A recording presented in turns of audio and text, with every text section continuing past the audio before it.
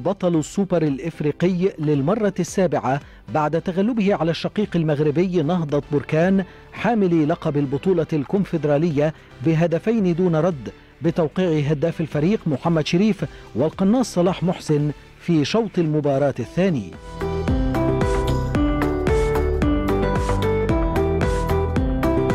الفوز الثمين لأبناء قلعة الجزيرة رفع رصيدهم من البطولات القارية إلى رقم 22 لينفرد بعيدا عن كل أندية إفريقيا في عدد البطولات القارية ويبتعد أيضا عن المارد اللاتيني بوكا جونيورز والعملاق الكتالوني برشلونة والبيج ميلان في عدد الألقاب القارية.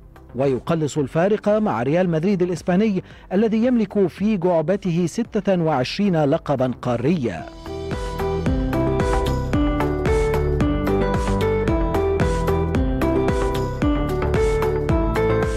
نجاح الأهلي الكبير تحت قيادة المدرب العبقري بيتسو موسيماني خلال الفترة الأخيرة بعد أن حصد لقب دوري أبطال إفريقيا ثم الفوز بالميدالية البرونزية في كأس العالم للأندية على حساب بطل ليبرتادوريس بالميراس ثم التتويج بالسوبر الإفريقي وضعه دون منافس حقيقي داخل القارة السمراء وهو الذي قطع مشوارا طويلا في منافسات نسخة دوري أبطال إفريقيا الحالية حيث يلعب أمام الترجي في الدور نصف النهائي.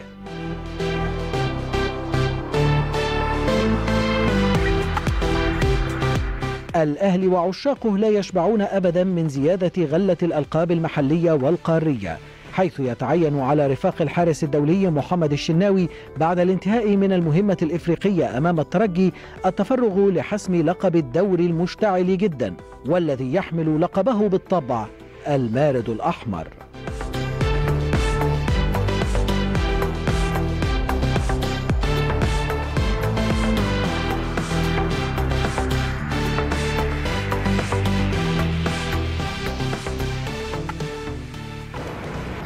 مرة تانية بنقول مبروك علينا جميعا مبروك لكل أهلاوي في كل مكان في العالم. امبارح كان يوم يعني فرحة فيه كان يوم فيه سعادة كان يوم فيه فخر زي ما إحنا بنقول. إحنا كنا سعداء جدا بكمان المباراة الأداء طبعا الشوط الثاني تحديدا كان أفضل بكتير.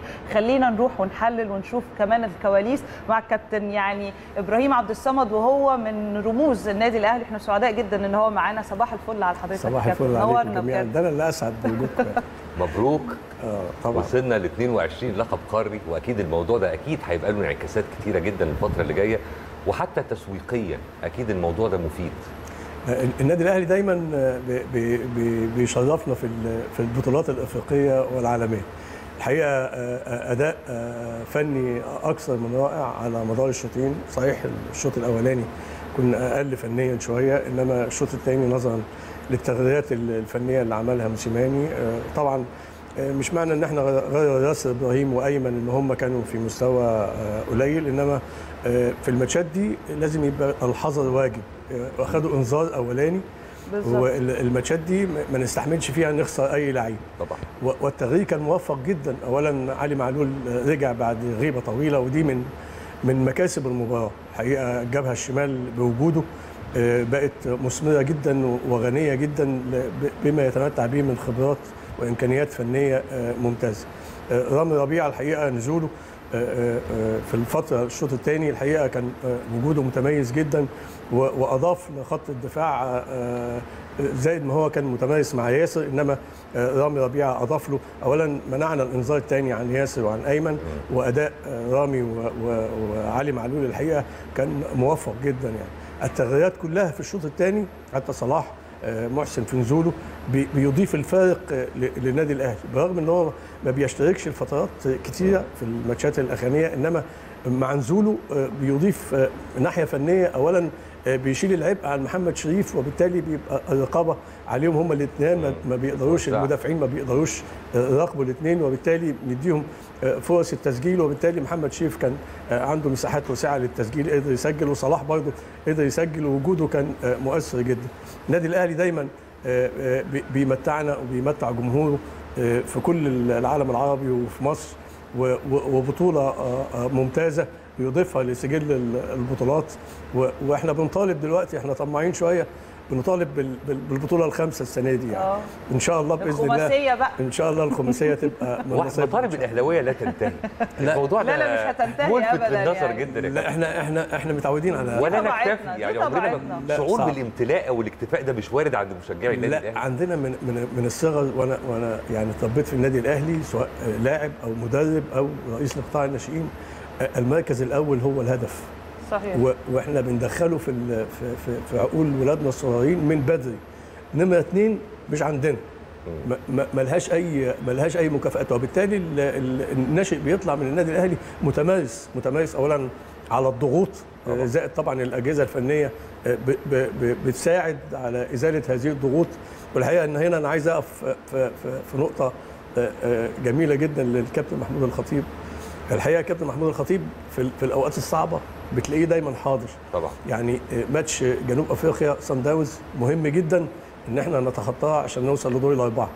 كان حاضر و و ومصر إن هو يبقى رئيس البعثة مع إنه ما بيطلعش رئيس بعثة كتير إنما في الأوقات الصعبة تلاقيه دايما وشه حلو كمان كابتن إبراهيم بجد لا يعني. اللعيبة اللعيبة لما بتلاقي رئيس النادي آه، بمليء من خبرات اولا آه، فنية وبعدين بما اكتسبوا من خبرات إدارية. على مر السنين في وسطيهم آه، دي أكبر حافز للعيب آه، إنه يطلع أكتر ما عنده في في في الفندق بتاع الإقامة ال- المسؤولين الأفارقة طلبوا منه إنه يخرج إنه يخرج.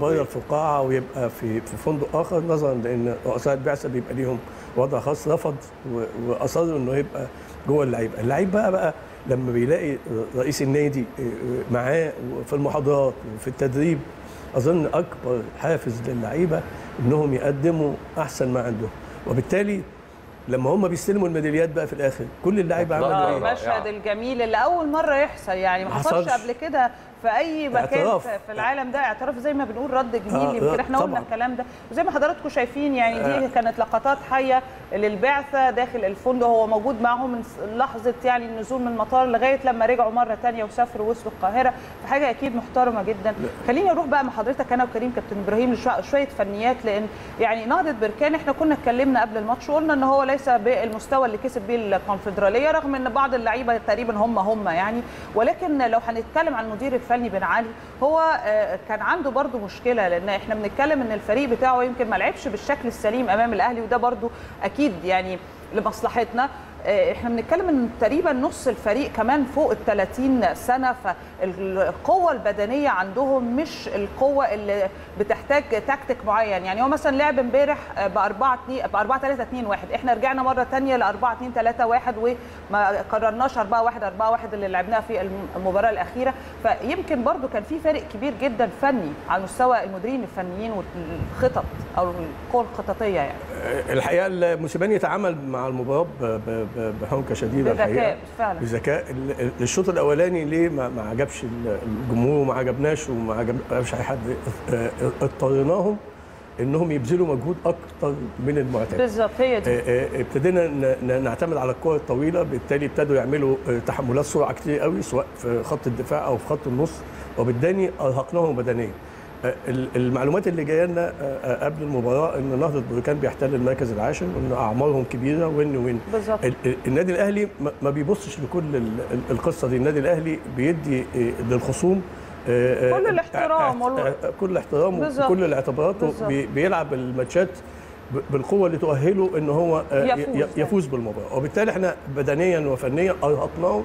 أرهقناهم بالتحملات السرعة كتير قوي صح. اللي اضطريناهم يعملوها وكان في عبء كتير على محمد شريف الحقيقة إن هو بيتحمل المجهود بس سنه الصغيرة آه، قدر إن هو يتحمل وبالتالي الشوط الثاني كان أكثر من. الشوط الثاني لما رجع النادي الأهلي لطريقته المعهودة بنقل الكرات وباحتلال ال- المساحات الخالية اللي- في الخصوم اللي ورا الدفاعات بتاعة الخصوم قدرنا قدرنا نستغل الثغرات ومحمد شريف بخبراته اللي اكتسبها الحقيقة آه، من اللعيبة الاكفات وأنا دايما أقول آه، ويمكن في قناة الأهلي بالذات أنا قلت محمد شريف لو خد الفرصة هيبقى من أحسن رؤوس الحربة اللي في مصر سواء مع النادي الأهلي أو مع المنتخب. وبالتالي التغييرات كمان ال- ال- اللي عملها موسيماني في الشوط الثاني كان ليها أثر إيجابي جدا آه، إن إحنا نطلع بالنتيجة دي. آه، آه، أكثر من من من إيجابية وأكثر من نجاح اولا علي معلول رجع. رامي ربيعة رجع لمستواه جدا. آه رامي آه، بقى بصراحة تألق فعلا حمدي فتحي رجع من, من حمدي فتحي رجع من إصابة وابتدينا نطمن عليه إن الناس اللي, اللي كان عندها إصابات آه، ابتدت ترجع. وابتدينا الكشف بتاع المستشفى ابتدى يخف وابتدى اللعيبة اللي كانت بتؤهل ابتدوا يرجعوا لصفوف النادي الأهلي لأن برضه النادي الأهلي عنده التزامات من أول ما نزل من الطيارة خلاص اتقفلت صفحة أفريقيا ابتدت تتفتح صفحة الدوري وكأس مصر وإحنا مطالبين مطالبين إحنا دايما دايما إحنا بنقول في الافتتاحية مع حضراتكم إحنا ما بنشبعش إحنا ما بنشبعش بطولات. وبالتالي ابتدينا نستعد لبطولة كأس مصر مع مع مع إنبي الأسبوع اللي جاي.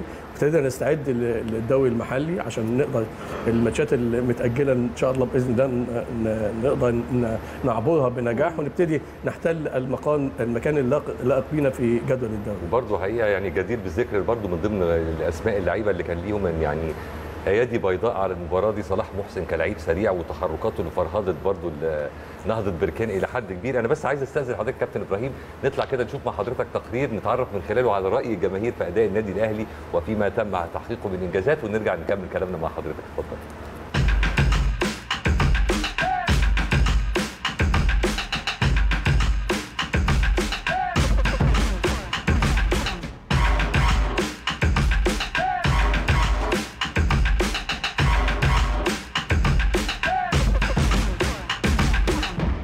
مليون مبروك لكل الأهلاوية. 22 بطولة قارية سبعة سوبر وإن شاء الله العشرة جاية. أداء متميز الشوط الثاني أحسن من الأولاني بكتير في تغييرات. وإن شاء الله الفترة الجاية الترجي ووراه الوداد لو في النهائي يبقى حاجة كويسة ونحقق العشرة والسوبر وراه آه، إنجاز آه، جميل جدا جدا. ألف مبروك لمحمود الخطيب بيبو من 82 ولغاية دلوقتي بيساعدنا.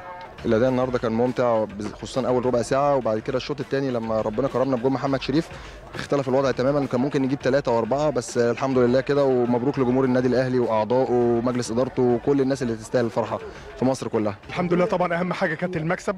دايما المباريات النهائية بتبقى مباريات صعبة جدا و... وبيبقى فرصة التعويض فيها صعبة. حضرتك ما بتفكريش خالص في الأداء قد ما بتفكري على المكسب فالحمد لله بنشكر الفريق النهارده. كان في قمة تركيزه الحمد لله. آه يمكن الشوط الأولاني ما كناش على المستوى المطلوب بس الحمد لله أدائنا اتحسن في الشوط الثاني والحمد لله كسبنا. وكأس سوبر اهلاوي المرة السابعة الحمد لله في التاريخ. الأداء ممتاز جدا في الشوط الثاني وخصوصا في الشوط الثاني. محمد شريف أمتعنا وصلاح محسن أمتعنا وكورة جميلة وفرحة جميلة وال... وال... والختام بتاعها جميل جدا مع كابتن بيبو. طبعا يعني صراحة لفتة جميلة جميلة جميلة. فرحونا والله وأمتعونا. أداء اللعيبة كان حلو قوي بس هو الشوط الأولاني كان الأداء آه، متوسط المستوى. والحمد لله إن الشوط الثاني بدأ آه، كان أكيد في تعليمات في الشوط الثاني من موسيماني بتغيير خطة اللعب تماما وابتدى الشوط الثاني الأهلي يمسك زمام الأمور والحمد لله كان الأفضلية لينا الحمد لله. كان بطولي ورجولة. بس يعني لو نبطل اللعب الطولي ده ونبدأ نلعب من رجل لرجل زي الأول هنوصل ونجيب اجوان أكتر. يعني إحنا النهارده كنا ممكن نكسب ثلاثة وأربعة لو بدأناها صح. بس إحنا الشوط الثاني الحمد لله تفوقنا وركزنا والحمد لله كسبنا.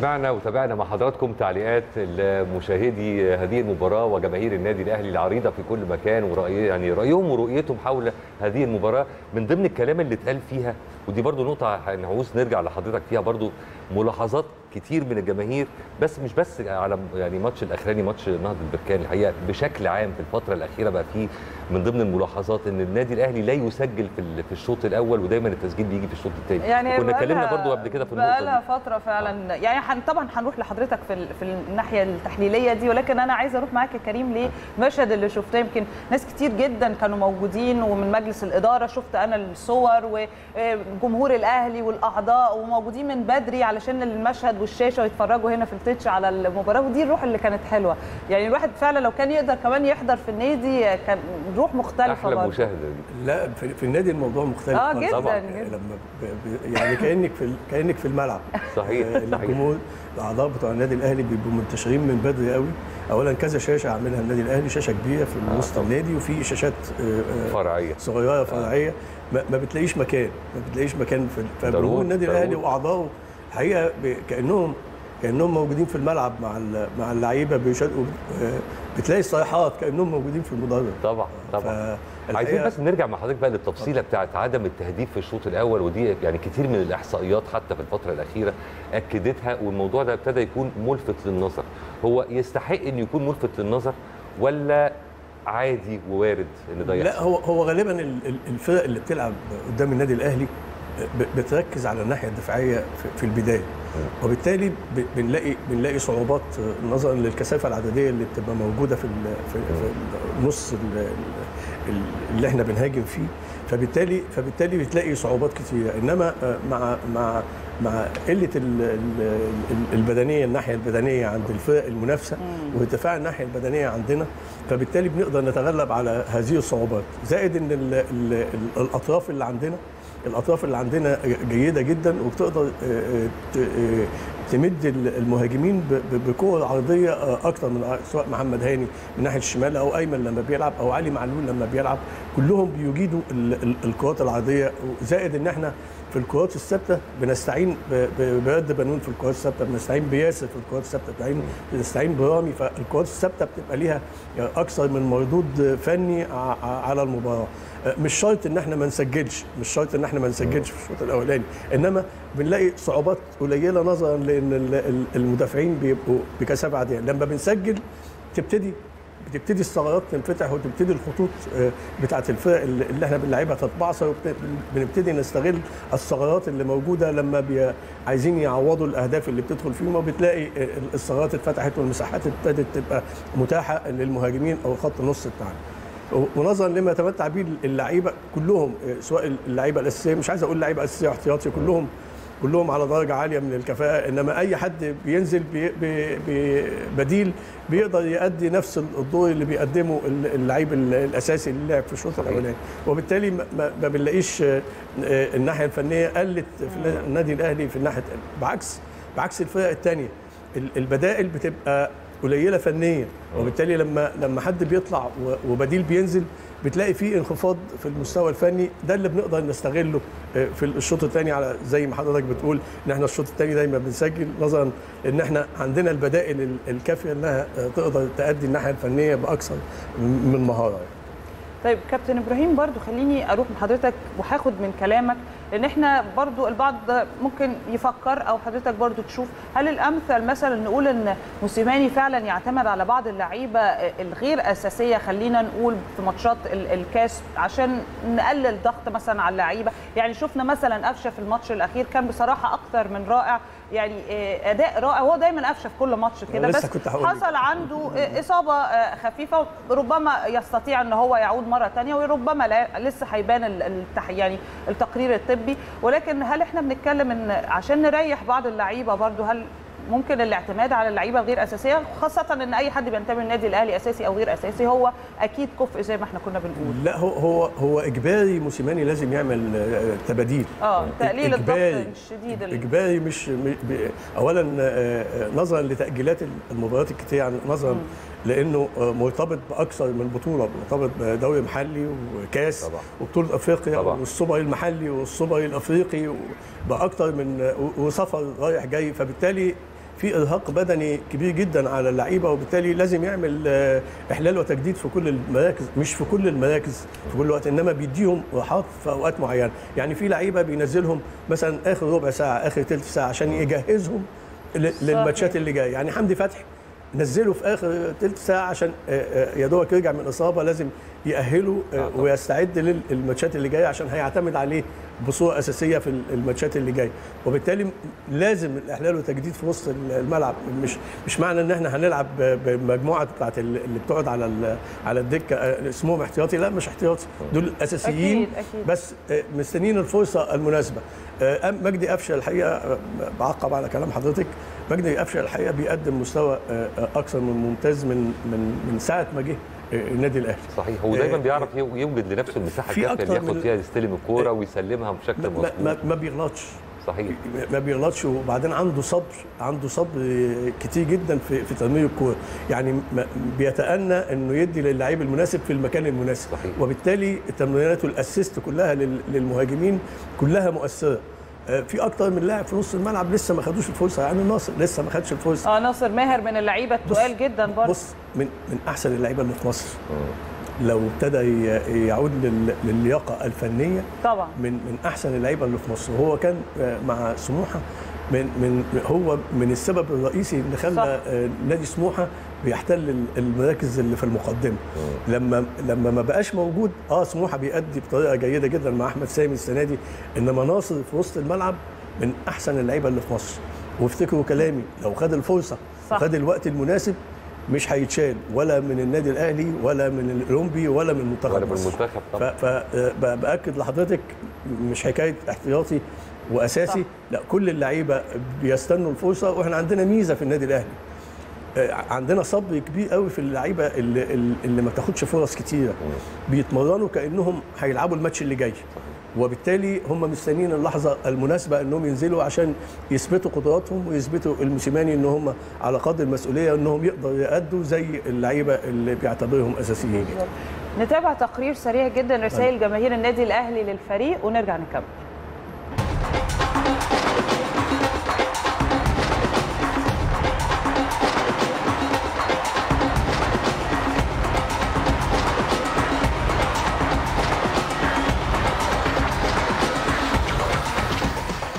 قبل ما اوجه رساله للفريق اوجه رساله للكابتن محمود الخطيب لأنه عمل support للفريق بشكل واضح واعتقد ده كان واضح لما اللعيبة راحت وتوجهت ليه واهدوا له الميداليات فاذا ال commitment الالتزام كان من رئيس النادي اولا. إحنا بنشكره جدا على اهتمامه بلعبه كرة القدم وتحقيق إنجازات بالنسبة للنادي. واللعيبة الحقيقة اشتغلوا كويس. وحافظوا على اسم النادي الأهلي وسمعة النادي الأهلي. إن شاء الله بإذن الله آه، كأس السوبر آه، ده يبقى دفع لينا بإذن الله في المرحلة الجاية خاصة إن إحنا داخلين على semi final البطولة الأفريقية دوري أبطال أفريقيا مع الترجي. فإن شاء الله يا رب دي تبقى دفعه حلوة ويبقى كأس السوبر وشه حلو علينا في دوري أبطال أفريقيا المرة العشره بإذن الله. والله بقول لهم آه، أنتوا رجالة وشرفتونا وده عهدنا مع الأهلي. وبعدين ده إحنا الأهلي يا جماعة الأهلي ده يعني رقم واحد في كل حاجة. والفرق بيننا وبين الانديه الثانية يعني شاسع جدا. فألف مبروك. ولو إن ده مش جديد علينا يعني الفوز ده بالنسبة لنا مش جديد علينا لكن فرحونا وأسعدونا. ورفعوا روحنا المعنوية. وبقول لهم ألف مبروك ومبروك للكابتن بيبو. وإحنا سعدنا جدا باللقطة إن جميع اللاعبين كرمت هو يستحق التكريم بصراحة. فأنا بهنيه وبهني مجلس الإدارة وبهني الأعضاء وبهني اللاعبين وإن شاء الله مزيد من التقدم ومزيد من ال- البطولات وربنا يصلح حالهم جميعا إن شاء الله. والله أنا ببارك لهم على اللعب الجميل دوت. طبعا الأهلي معروف دايما يعني بلعبه ومستواه ومبروك للأهلي وأعضاء الأهلي والخطيب. وألف ألف مبروك للاهلي كان حلو وبحيي كابتن بيبو أول حاجة المفروض. وإن شاء الله نحقق بطولات كتيرة وإن شاء الله كل البطولات تبقى في الأهلي.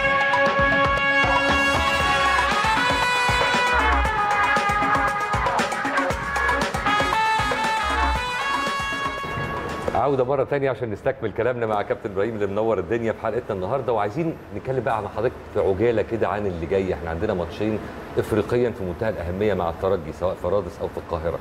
والترجي برضو من الفرق التقيلة اللي ليها وزنها واللي ليها برضو يعني ثقلها. فحضرتك شايف الوضع إزاي في الماتشين دول؟ لا زي ما ما, قلنا في بداية الحلقة النادي الأهلي اولا الفرق الثمانية اللي طلعوا دور الثمانية في بطولة أفريقيا كلهم كلهم أقوياء. ما فيش حد فيهم قليل وبالتالي النادي الأهلي بيدي زي ما إحنا قلنا بيدي إيه، الفرق اللي بيلعبها كل احترام وكل تقدير وبالتالي هينزل بكل قوته قدام الترجي الترجي الحقيقة من الفرق اللي بتقدم مستوى جيد جدا طبعاً. إيه، سواء في الدوري المحلي أو آه، أفريقيا وبالتالي الفترة اللي جاية النادي الأهلي مدخم بال برضه بالماتشات الكاس المحلي والدوري المحلي وهيبقى فيه آه، طبعا آه، كل ثلاث أيام ماتش هنبقى زي فبالتالي لازم عملية التدوير تبقى الناس اللي بعيدة شوية اللي بعيدة شوية اللي جاية من إصابات لازم يديها فترات كافية بحيث يقدر يدي اللعيبة اللي خدوا الماتشات الأخرانية فترة كافية من الراحة بحيث يبقوا مؤهلين جدا لمقابلة الترجي. الترجي ده من الفرق القوية جدا والمنافسات معانا على على مدار السنين دايما المنافسة مع الفرق الفرق العربية بتبقى آه، فيها حدة شوية وفيها حماس شوية. وبالتالي لازم آه، نديها نديها آه، يعني مكانتها وندي اللعيبة اللي هنعتمد عليهم بشكل أساسي في الفترات ال- ال- الأفريقية الراحة الكافية بحيث يبقوا مؤهلين آه، فنيا وبدنيا إنهم يقدروا يحققوا لنا بإن شاء الله بإذن الله بطولة أفريقيا للمرة إن شاء الله بإذن الله. العاشرة يعني. العاشره إن شاء الله. كابتن إبراهيم مبروك علينا مرة تانية. ويا رب دايما كده الأهلي يكون مصدر سعادة لكل الأهلاوية في كل مكان في العالم. وإحنا هنا من خلال طبعا قناة الأهلي نكون ال- اللي بننقل لحضراتكم ده واللي بننقل الكواليس والتغطية المستمرة اللي أكيد كلنا حريصين عليها من أكبر حد في القناة لأصغر حد. يعني مراسلنا في كل مكان. يا رب دايما كده ننقل الأخبار الحلوة والبطولات. وزي ما حضرتك قلت إحنا دايما متعطشين أو looking forward يعني متعطشين للي جاي. نورتنا كابتن إبراهيم ومرة تانية بس عايزين نقول إيه مساء النصر طيب مشيها مساء النصر. لغايه لغاية إن شاء الله الماتش اللي جاي- اللي جاي. بصباح النصر إن شاء الله بإذن الله ودايما. إن شاء الله النادي الأهلي آه، بي- بيرتقي بلاعيبته آه، يا رب. مجلس إدارته تحيه ليهم لمجلس الإدارة واللعيبة والجهاز الفني والإداري آه، بيبسطوا بيبسطوا جمهورنا وبيبسطوا ال- ال- الشعب العربي كله بالبطولات اللي بيحققوها وتمنياتي دايما بدوام التوفيق وال- اللهم آمين يا. رب العالمين. مليون مبروك يا أهلاوية في كل مكان. وإن شاء الله الفترة الجاية نبتدي معاكم كتير من الحلقات اللي جاية بجمله صباح النصر. صباح الفل عليكم.